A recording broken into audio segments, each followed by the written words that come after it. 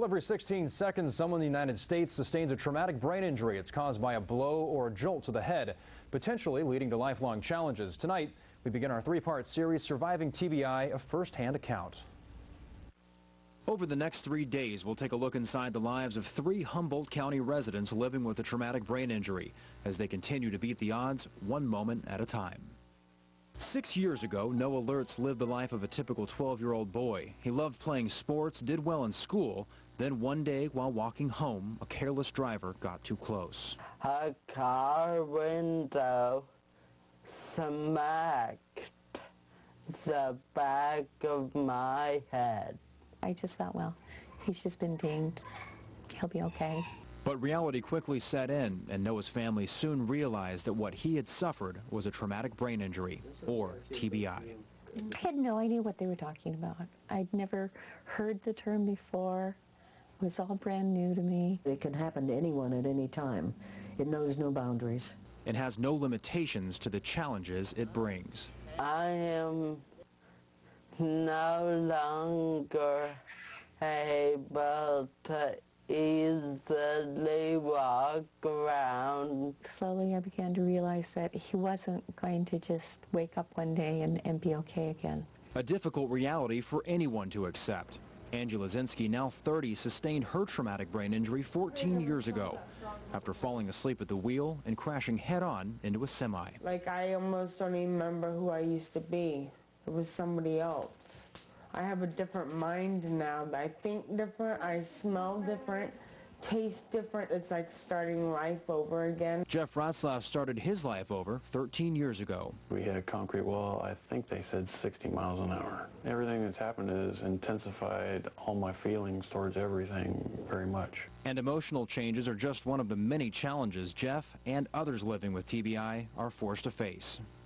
Join us tomorrow night for part two of Surviving TBI, a first-hand account, as we look at the everyday struggles Jeff, Noah, and Angie deal with as a result of their traumatic brain injuries. Currently, 5.3 million Americans are living with a traumatic brain injury. Last night, we introduced you to three survivors, survivors living right here in Humboldt County. Tonight, as we continue our series, Surviving TBI, a first-hand account, we show you just a few of the daily challenges they deal with as a result of their traumatic brain injuries. Since Jeff Ratzlaff sustained his traumatic brain injury 14 years ago, seizures have become a daily part of life. He's suffered hundreds since the accident, and for the first eight years, had to take nearly 7,000 milligrams of medication every day just to minimize their effects. They said it was more than they'd seen other people have to take. So in 2001, Jeff came here to the Humboldt Neurology Group to meet with Dr. John Gambin about implanting a device called the vagus nerve stimulator which would significantly reduce his need for medication and help control his daily seizure outbreaks. We put electrical stimulation into the vagus nerve that then sends the messages up into the brainstem and tends to uh, then regulate these excitable circuits. But for those living with TBI, facing only one disability as a result of the injury is nearly unheard of. Because when the skull is initially impacted, different regions of the brain that control different bodily functions can be severely damaged. Short-term memory is usually one of them. A client once told me that it's like opening up a door to a room and throwing all the files of your memory into that room. It's there, but you can't access it. Even just around the house, he will not remember something from moment to moment. He has to have somebody that's uh, there to remind him of everyday, everyday things that we all take for granted. Now Jeff has to write everything down from important appointments to the names of his friends. I remember their faces, no problem, but I can't remember the names. For many others, it's the loss of mobility that impacts their daily routines. I only use one arm now, and I've learned to do everything. It's harder, but I don't use the arm and my leg, I limp. But disabilities like these don't keep Angie or the others from having hope and chasing their goals. Join us tomorrow night for part three of Surviving TBI, a first-hand account as we take a look at the recovery process and how all three TBI survivors are moving on. This year, approximately 1.4 million people will sustain a traumatic brain injury in the United States. Of those, 50,000 will die and 235,000 will be hospitalized. This week, we've taken a look inside the lives of three Humboldt County residents living with a traumatic brain injury and introduce you to some of the challenges they're faced with every day. Tonight, as we conclude our series, Surviving TBI, a firsthand account, we take a look at the recovery process and how all three TBI survivors are moving on. From the moment a traumatic brain injury occurs, the clock begins to tick.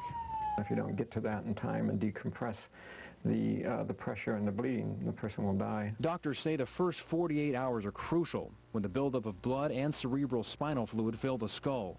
The bruised brain has no room to expand, causing oxygen levels to drop. That was the big issue. Yeah. The first week it was his pressure. They just kept talking about, oh, this is getting way too elevated. The longer the pressure goes untreated, the harder it is for the brain to repair itself. And you realize that that's really what they're saying is the longer this continues, the less chance there is for a better prognosis. But once medical treatment has been received and a prognosis given, all you can do is wait and rely on hope to do the rest. Put your energy into moving forward, not into why. If you put your time into why, um, you're spinning your wheels. Folks are told that they aren't going to recover. They're told that there's always going to be limitations, and I've seen that it's it's not true. I've seen that people do recover for a lifetime. A lifetime filled with new beginnings. I've had a daughter, and I've worked. I went. I've got a CR. I mean, I'm going on. And she's not alone. Jeff and Noah also continue to progress, with friends and family by their side, actively participating in a life they almost lost. Meanwhile, making headway, a local center for brain injury recovery and collaboration with Traumatic Brain Injury Services of California met in Eureka for TBI Changes Everything, a conference centered on those affected by traumatic brain injury. Experts from throughout the West Coast led today's conference, speaking on topics such as brain injuries resulting from everyday incidents like falls or motor vehicle accidents, to soldiers who've sustained a traumatic brain injury from combat. Clinical neuropsychologist Dr. Diane Ziner, who works directly with Iraq War veterans within the VA healthcare system in Palo Alto, says 65% of all combat-related injuries are caused by improvised explosive devices, 60% of which result in mild to severe TBI. Severe refer to the amount of time that someone's unconscious. So that in fact, although you can have a mild TBI, it means you've been unconscious less than 30 minutes. But what seems to be most alarming is the amount of troops returning from combat with a traumatic brain injury that are not diagnosed. As many as 8 to 10,000 people are undiagnosed head injury and have been discharged home. If you'd like more information on traumatic brain injury, you can go to our website and click on the Making Headway link, or the number's going to come up here. You can call Making Headway at the number on your screen at 707 442 7668.